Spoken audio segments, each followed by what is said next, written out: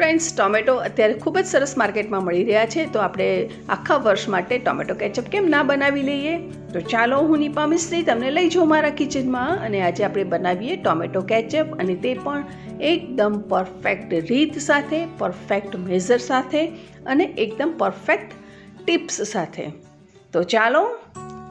તો ફ્રેન્ડ્સ, અહીંયા મેં ટામેટા લીધા છે એક કિલો. અને હું તમને પાંચ કિલો ટામેટાનો કેચઅપ બનાવવાનું મેઝર પણ નીચે ડિસ્ક્રિપ્શન બોક્સમાં આપી દઈશ, તો તમે ત્યાંથી જોઈ શકો છો. અત્યારે હું એક કિલો ટામેટાનું કેચઅપ બનાવી રહી છું, તો મેં એ રીતે અહીંયા મેઝર લીધું છે. ટામેટાં થોડા મોટા સિલેક્ટ કરવાના અને દેશી ટામેટાં નહીં લેવાના, દેશી ટામેટા ખાટા આવે છે અને આ રીતના આપણે આવા ટામેટાં લેવાના છે, જેથી કરી એમાં માવો ખૂબ જ હોય છે. અને માવાદાર ટામેટાં લઈશું, તો આપણો કેચઅપ સરસ ઘટ અને બહુ સરસ થશે. એટલા માટે ટામેટાની ક્વોલિટી જ્યારે તમે સિલેક્ટ કરો ત્યારે ખૂબ જ ધ્યાન રાખવાનું છે. ટામેટાને આપણે આ રીતે છૂટા પાણીથી સરસ ધોઈ લેવાના છે. ધોવાનું ખાસ, કેમ કે એમાં બધો કચરો લાગેલો હોય તે સરસ નીકળી જાય. આ રીતે આપણે બધા ટામેટાને કટ કરી અને એમાંથી સ્ટેમ્પ કાઢી નાખવાનું છે અને મોટા મોટા ટુકડામાં આપણે એને કાપી લેવાના. બધા ટામેટાને આપણે આ રીતે મોટા મોટા ટુકડામાં કાપી લીધા બાદ આપણે એને પ્રેશર કૂક કરવાનું છે. પ્રેશર કૂક આપણે બે સીટી થાય ત્યાં સુધી આપણે પ્રેશર કૂક કરીશું.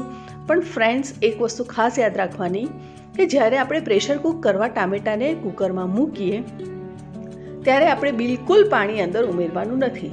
કેમ કે ટામેટામાં પાણી હોય જ છે અને એનાથી આપણા ટામેટાં સરસ બફાઈ જશે અને નીચે બિલકુલ ચોંટશે નહીં. એટલે જો તમને એવું થતું હોય કે પાણી રેડીશું નહીં, તો ટામેટાં નીચે ચોંટશે, તો એવું નથી થતું. તમે જોઈ શકો છો આપણા ટામેટાં બફાઈ ગયા છે અને નીચે બિલકુલ ચોંટ્યા નથી અને પાણી પણ અંદર સરસ છૂટી ગયું છે. તો ઠંડા પડે ત્યારબાદ આપણે એને ગ્રાઇન્ડરમાં આવી રીતે મિક્સ કરી લેવાના છે અને એની સ્મૂથ પેસ્ટ બનાવી લેવાની છે. ઘણા મિત્રો બ્લેન્ડરમાં પણ બ્લેન્ડ કરી લેતા હોય છે, પણ બ્લેન્ડરમાં તમારી આટલી સરસ સ્મૂથ પેસ્ટ નહીં થાય અને એમાં થોડુંક પેસ્ટ વધારે નીકળશે. એટલા માટે મારું એક સજેશન છે કે તમે જ્યારે પણ ટામેટો કેચઅપ બનાવો ત્યારે એને મિક્સીમાં જ ક્રશ કરો અને આ રીતે ઝીણી ગળણી લઈ અને એને ગાળી લો.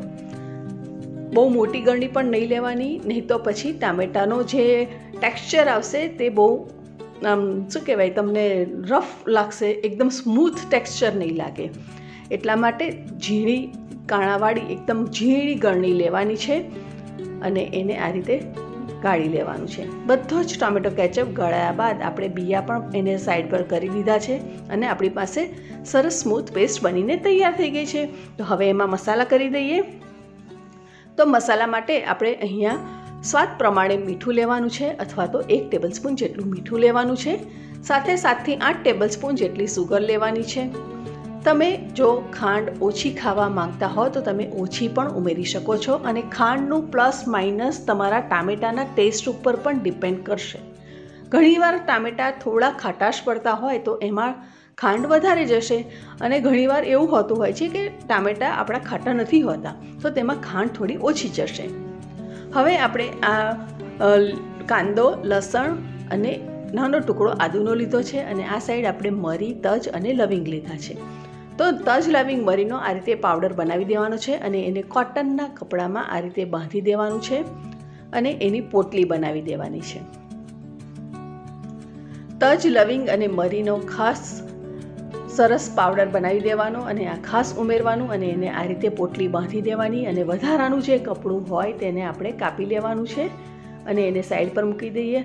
હવે આપણે કાંદો, લસણ અને આદુની પેસ્ટ પણ બનાવી દેવાની છે અને એને આ રીતે ડીશ નીચે રાખવાની અને એનું ઉપર કપડું મૂકવાનું, જેથી કરીને એમાંથી જો જ્યુસ નીકળશે તો એ ડીશમાં જશે અને એ ડીશમાં રહેલો જ્યુસ આપણે ટામેટાના પલ્પમાં ઉમેરી શકીશું, એટલે આપણો એનો ટેસ્ટ જે હશે તે જળવાઈ રહેશે. અને કાંદાનો અને આદુનો જે જ્યુસ નીકળશે તે વેસ્ટેજ નહીં જાય. એની પણ આપણે સરસ પોટલી બનાવી દીધી છે. હવે બંને પોટલી છે તેને આપણે ટામેટાના પલ્પની અંદર ઉમેરી દેવાની છે અને મિક્સ કરી દેવાનું છે, ગેસને ચાલુ કરી દેવાનો, ગેસ પર મૂકી દેવાનું અને એને થવા દેવાનું છે. તમારે ખાસ ધ્યાન રાખવાનું કે બોટમ જાડું હોય એવું વાસણ લેવાનું કે જેથી કરીને ટામેટાનો કેચઅપ જે છે તે નીચે તળીએ ચોંટે નહીં.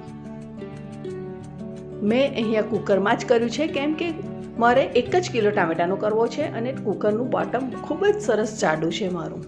એટલા માટે મેં કુકરમાં જ પ્રિફર કર્યું બનાવવા માટે. તમે જોઈ શકો છો ટોમેટો કેચઅપ સરસ ઉકળી રહ્યો છે અને એને આપણે ફાસ્ટ તાપે જ રાખીશું અને ઉપર આ રીતે કાણાવાળી જાળી જે હોય ઢાંકણ તેને ઢાંકીશું. જેથી કરીને વરાળ બધી બહાર નીકળશે અને ટામેટો કેચઅપ ઉભરાશે નહીં.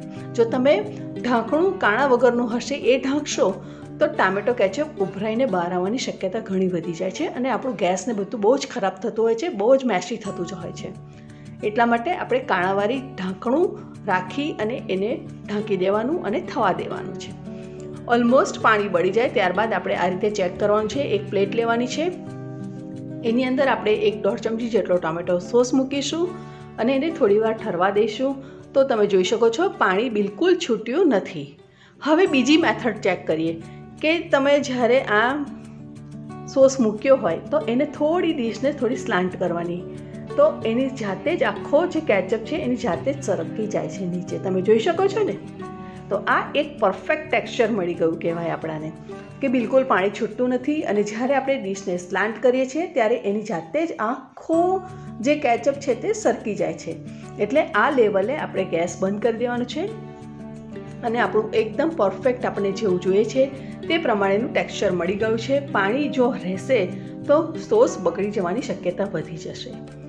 સોસ ઠંડો પડે ત્યારબાદ આપણે જે બે પોટલી અંદર મૂકીને રાખી હતી, તેને આ રીતે દબાઈ દેવાની છે, જેથી કરીને એનો રસ બધો નીકળી જાય સોસમાં આવી જાય અને પછી એ પોટલીને આપણે બહાર કાઢી લઈશું. આ રીતે બંને પોટલી કાઢ્યા બાદ આપણે હવે એની અંદર ઉમેરીશું હોટ એન્ડ સ્પાઇસી બનાવવા માટે. લાલ કાશ્મીરી મરચું પાવડર જેનાથી કલર પણ એકદમ સરસ આવી જશે અને એનો ટેસ્ટ પણ સરસ આવી જશે.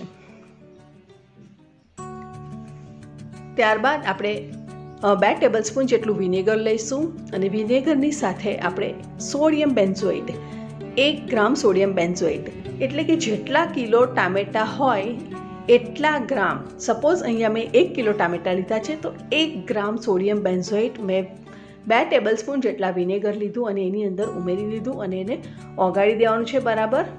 અને ત્યારબાદ આપણે એને ઉમેરી દઈશું ટોમેટો કેચઅપમાં. આ એક પરફેક્ટ મેઝર છે. તમે કોઈ પણ વસ્તુ પ્રિઝર્વ કરવાના હોય તો આ એક ખાસ ધ્યાન રાખવાનું કે જેટલા કિલો તમે જે વસ્તુ લીધી છે, એટલા ગ્રામ આપણે બેન્ઝોઇટ સોડિયમ બેન્ઝોઇટ ઉમેરવાનું છે. હવે ટામેટાની અંદર આપણે સોડિયમ બેન્ઝોઇટ અને વિનેગરનું મિશ્રણ ઉમેરી દીધું છે અને એને બરાબર સ્ટર કરી લઈશું અને આપણે એને એક ગ્લાસના કન્ટેનરમાં જારમાં ભરી લઈશું અને જ્યારે જોઈએ ત્યારે આપણે સેન્ડવિચ, પિઝા, પકોડા, પુડલા ગમે તેની સાથે આપણે એને એન્જોય કરી શકીશું. તો ફ્રેન્ડ્સ, ગમીને મારી આ ટિપ્સ અને રેસિપી તો જરૂરથી ટ્રાય કરજો ઘરે તમે અને ફીડબેક આપજો. Thank you.